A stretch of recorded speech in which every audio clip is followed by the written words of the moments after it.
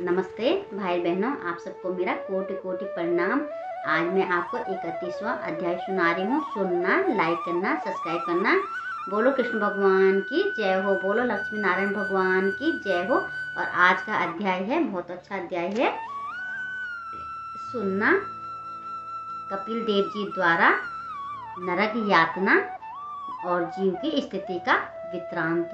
सुनाना, भगवान कपिल देव जी बोले, हे माता, जो मनुष्य श्री हरि श्री हरि स्मरण में मन नहीं लगाते हैं, जो मनुष्य श्री हरि के चरणों में मन नहीं लगाते हैं और बुरे कर्मों के विपरीत शुभ कार्यों को नहीं करते हैं, उनकी दशा ऐसी होती है, उनकी दशा ऐसी ही होती है।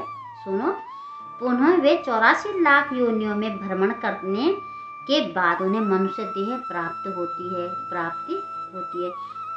जो अच्छे कर्मों में मन नहीं लगाते हैं, शुभ कर्मों में मन नहीं लगाते हैं, वो पुनः चौरासी लाख योनियों में भ्रमण करने के बाद मनुष्य देह की प्राप्ति होती है। परंतु जब वो मनुष्य भी बन जाते हैं, मनुष्य में, मनुष्य देह में जन्म भी ले लेते हैं, तब वे लोग काने होते हैं, कुबड़े होते हैं, रोगी होते हैं अंधे और दरिद्र भी, कुरूप भी आदि होकर, इतने सारी चीज़ें होकर जगत में बहुत से दुख भोगते हैं। जो मनुष्य जगत में सुंदर और धर्मात्मा नीतिज्ञ धनवान और हरि भक्त दिखाई दे, उनके विषय में यह जानना चाहिए कि उन्होंने स्वर्ग से लौटकर जगत में जन्म लिया है।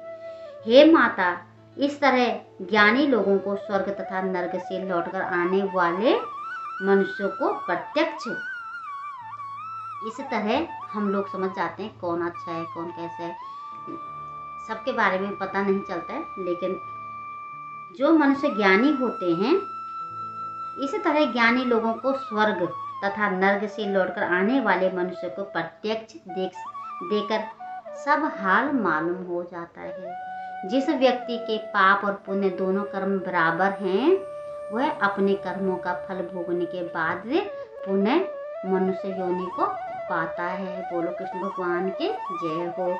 जिस व्यक्ति का केवल पुण्य ही होता है, जिस व्यक्ति का पुण्य ही होता है, पाप नहीं होता है, मरने के उपरांत वह देवता या गंधर्व का देह प्राप्त कर देवलोक या स्वर्गलोक में वास करते हैं।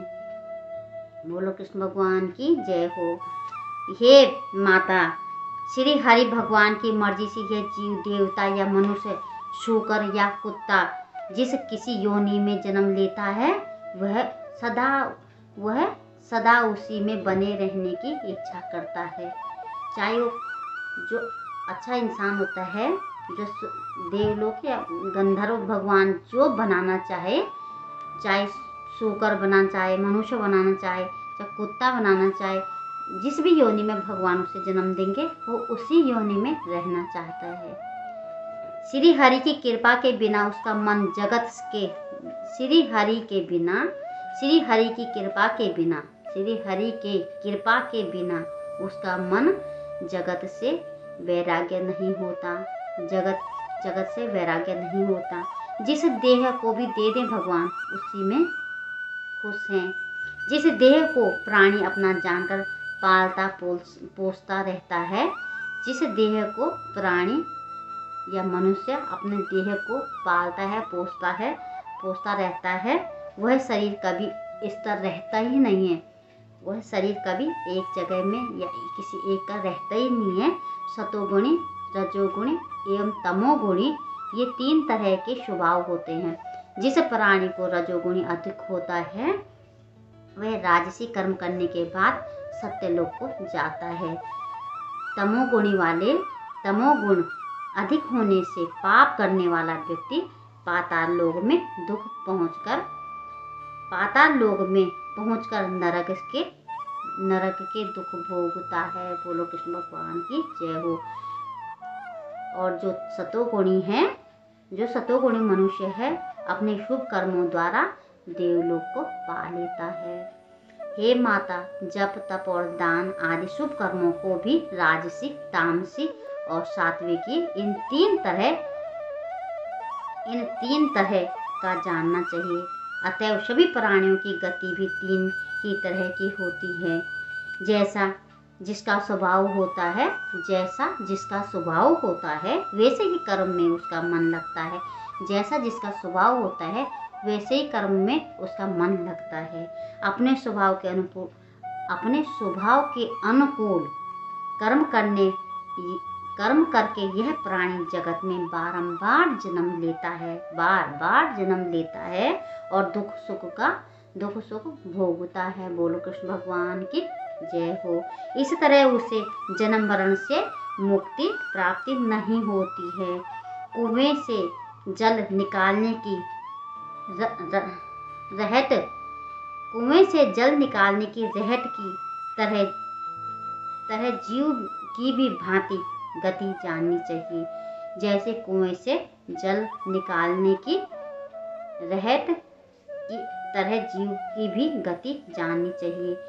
वह एक देह को त्याग कर, वह एक देह को त्याग कर अपने शुभ कर्मों को भोगने के बाद अन्य देह में प्रवेश कर जाता है।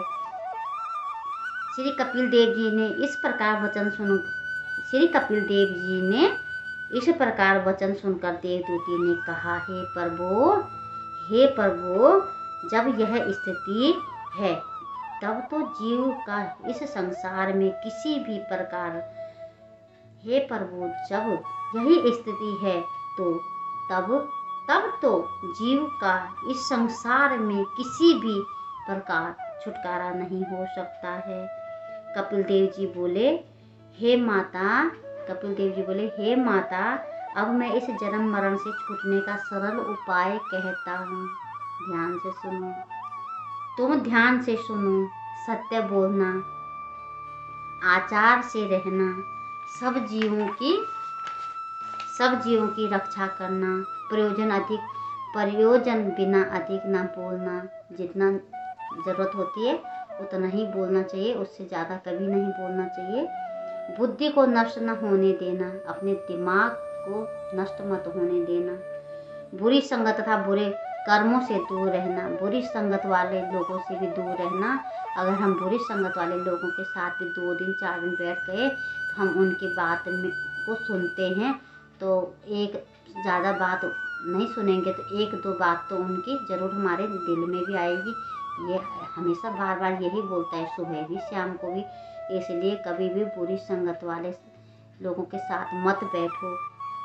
बुरे कर्मों से दूर रहना, अपने चित्त को सदैव प्रसन्न रखना, अपने मन को हमेशा प्रसन्न रखना, दुखी मत रखना। दुखी रखने से क्या होगा? कुछ नहीं होगा। जो होना है वो तो हो गई, लेकिन हम दुखी रख के कुछ नहीं होगा। भगवान जितना दे, भगवान जितना दे, उसी में खुश रहे भगवान जितना दे, उसी में संतोष रखना चाहिए, उसी में खुश रहना चाहिए। किसी के धन को देकर, किसी के धन को देकर डाहा न करना।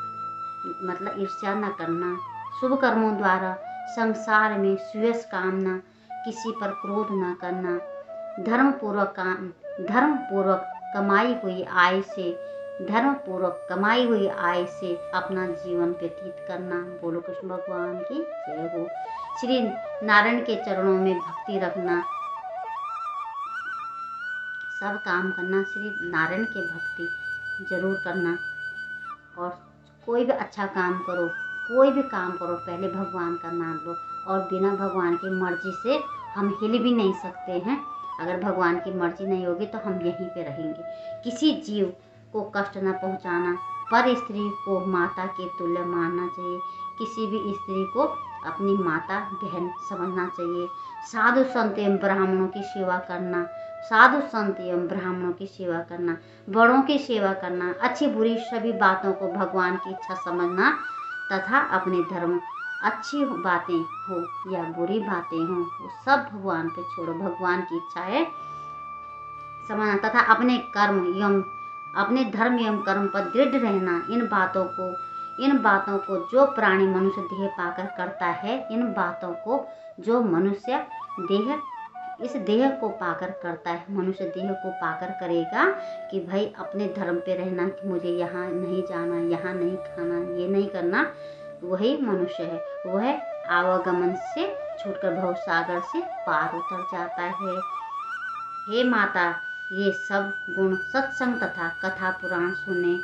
ये, हे माता, ये सब गुण सत्संग तथा कथा पुराण सुने, भागवत गीता सुने, गीता पुराण सुने, बिना प्राप्त किए नहीं होते हैं। जब तक हम भागवत नहीं सुनेंगे, श्रीमद् भागवत पुराण नहीं सुनेंगे, सत्संग में नहीं जाएँगे, भजन में नहीं जाएँगे, तब तक हमारे मन में भी कुछ अच्छी बातें नहीं आएगी। घर में बैठे बैठे दो चार बातें अच्छी आएगी, फिर वही जो सुबह सोचा था, फिर वही आएगा। अतः मनुष्य को चाहिए कि वे साधु संत, महात्मा तथा ज्ञानी जनों का सत्संग करें। बोलो कृष्ण भगवान की जय हो। बोलो लक्ष्मी नारायण भगवान की जय हो। हर हर